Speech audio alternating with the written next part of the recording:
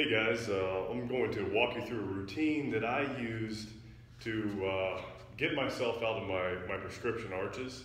Um, I had, for basically since I was a teenager, last 15 years or so, horrible, horrible foot pain in my arches, um, sharp pains when I, when I run for even, and I do jujitsu warm-ups on the mat barefoot.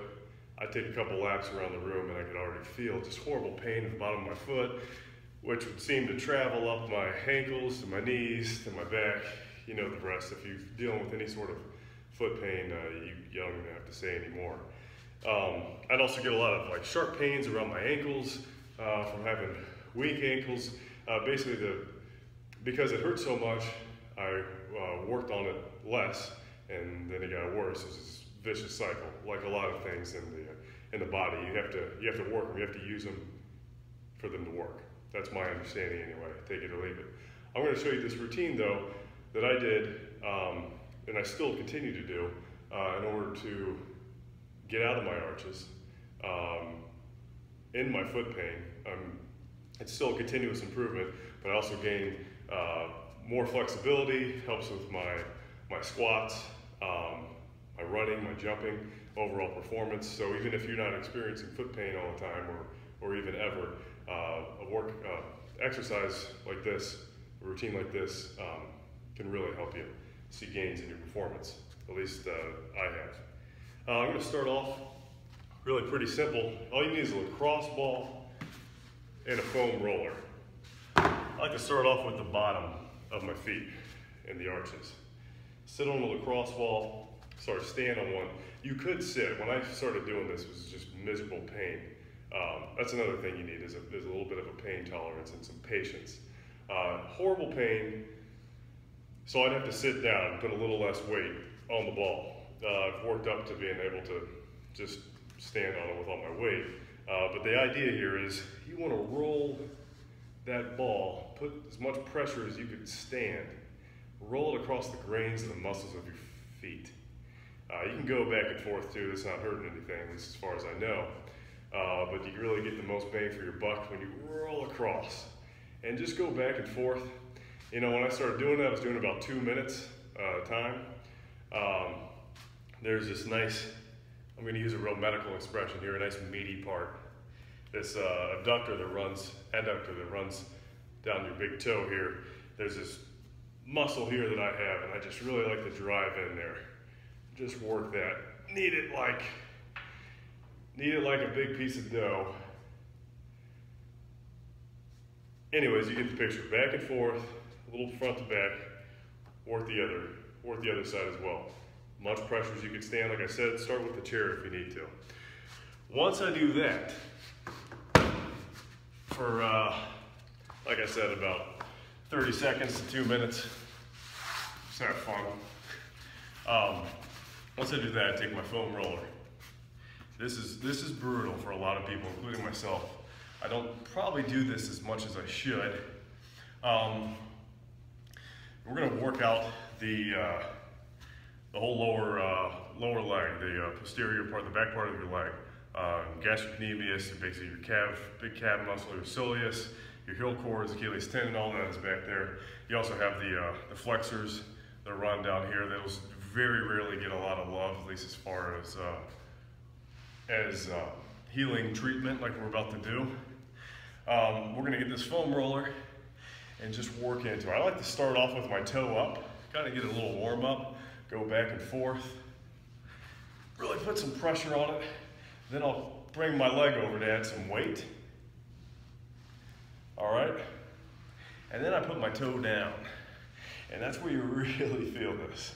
Go all the way up to the top, back down back and forth.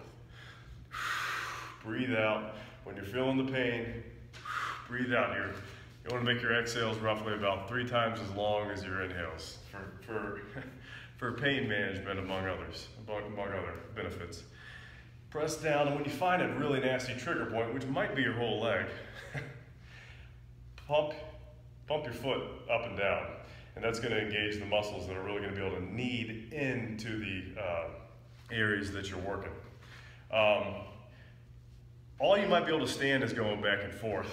But when you can work up to it, you want to go into against the grain. So start at the top and come across, get all your weight on there if you can stand it. And then move down the leg a little bit, about half an inch. You find a spot that's nasty, pump that foot.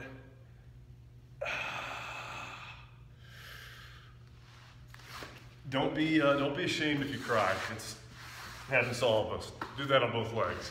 All right, now we're gonna hit the anterior part, the, the front part of our shins here, the uh, namely the anterior tibialis. Um, and uh, also some, some, some other muscles on the side we're gonna nail. Um, kind of do the opposite here. So we're gonna get on, shin on top. I think Kelly Starrett calls this the bone saw. Um, if I'm not mistaken, it's a brilliant name for it. That's what it feels like, that's what it looks like. Uh, we're gonna get on top of the foam roller here. Put your leg back to really drive it in. Go back and forth on it, again, up and down. Really hit this, uh, hit this section here, the, the anterior tibialis. Uh, you can hit the, the front of the, uh, of your calf muscle, gastrocnemius here, too, but you're really gonna get the most, most bang on the front, this big meaty part. Um, bikers, especially guys with like toe clips, can develop some huge muscles there, and if you're not taking care of them, this is gonna really, really hurt. But you'll work into it, all right? So we really drive in there, back and forth. I don't know, do that about 10, 15 times. There's really no ideal way. And again, we're gonna pump our foot when we find a nasty spot and then we're gonna roll back and forth. I like to hit it up by my knee as well, up here close to the knee. Um, you know, a lot of these, uh, doing the same with your quads, and I do that in another video, doing the same uh, downstream, so to speak, in your uh, lower leg, really alleviates a lot of stress in the knee. So you find if you have knee pain, it might, uh, you might see some improvements there as well. And of course, all this connects downstream to the foot, vice versa, which is why we're doing this in the first place. All right, so after you work both legs, front and back, you got your arches done. Um, we're gonna take, uh, I like to do uh, this stretch here. I'm gonna get down, I'll show you from the front first. Get down, kind of like a, like a lazy downward dog, sort of, and put one, one foot in the back um, on the, kind of clip it to the heel. See what I'm talking about here. Okay? And we're just gonna pump in and out. Really get some flexibility in the ankle and drive down with this foot. Really open it up, extend, come back down. This is a really good warm up to do before, uh, before squats. Um, I like to do this to kind of get my ankles warmed up. It's not really a static stretch. Uh, it's more of a dynamic, uh, dynamic warm up. Do that on both legs. I don't know, but again, 10 to 15 is a good number. Um, excuse me a moment.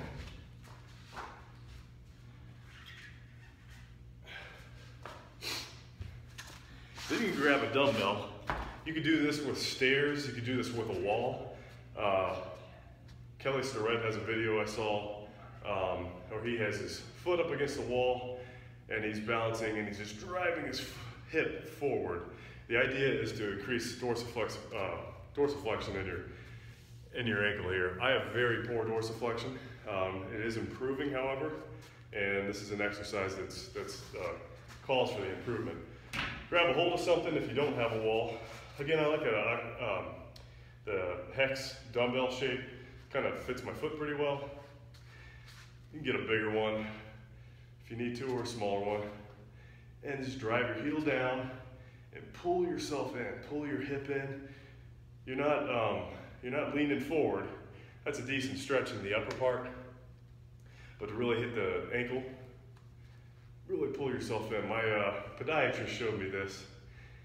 He said if you want to do anything for uh, to improve your dorsiflexion, that stretch you know, hold it for 30 seconds to two minutes um, is, a, is a fantastic one. Again, you're gonna see improvements in your jumping, your squat, anything that relies on this uh, moving here. All right. So after we do that, we're going to, uh, I'm gonna get down, I'm gonna kind of open up my, open up my toes a little more. Why am I, shouldn't be doing this, I gotta do the third world squat there, grok squat. All right. Um, so for this, I'm gonna lean forward, put my toes on the ground, and then back. Hold it for about seven seconds.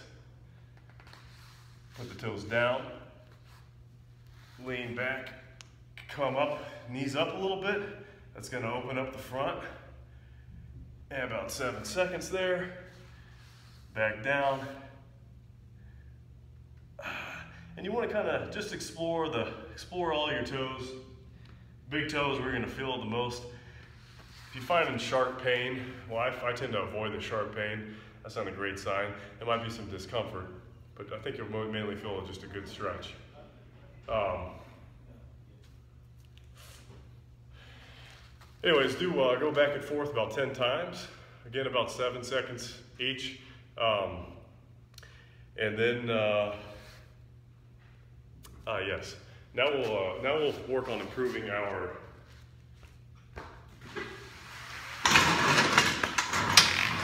Now we'll work on improving the strength and the mobility in the muscles of the ankles themselves. All right, so my wife actually showed me this. She used to be a used to be a dancer. Uh, she said that they do these for ballet all the time, and I found it's a fantastic workout. Um, you're gonna start, we're gonna be doing circles, 30 reps, one way, and you really wanna do nice and slow and deliver it, get the full range of motion. 30 reps one way, when you stop, when you're done there, stop dude, stop and reverse. Now if you can't get the 30 reps, um, you know, it might be, you might feel some serious burn there. I mean, you're working muscles just like you would in your in your chest or your back or your quads. Um, just ease off. You don't want to necessarily go to a failure, or push to the pain until you're crying. Just mark where you were. Let's say you get 15 in on each direction, um, and just improve upon that. We're just having fun here. All right, now we're going to uh, make an alphabet. So, make an A and a B. I think you know your alphabet. Doesn't really matter if you're going right backwards or forward. The important thing is, is you're exploring the full range of motion in your ankles. So there's my E. Go through. And when you're done, that's it. So I do this about, I was doing this about three times a week, about every other day. Uh, now I probably uh, go through all kind of select exercises individually. I like to just sit down and do the whole thing at once. Uh, do that about once a week. Um, just you know, if you're experiencing soreness the first few times you do it, that's perfectly normal. Just uh, take a day or two off. At least that's what I found best for myself. And you will see, soon see improvements in your performance, uh, pain reduction, and uh, if you're like me, you might get out of your arch supports, save some money. Thank you.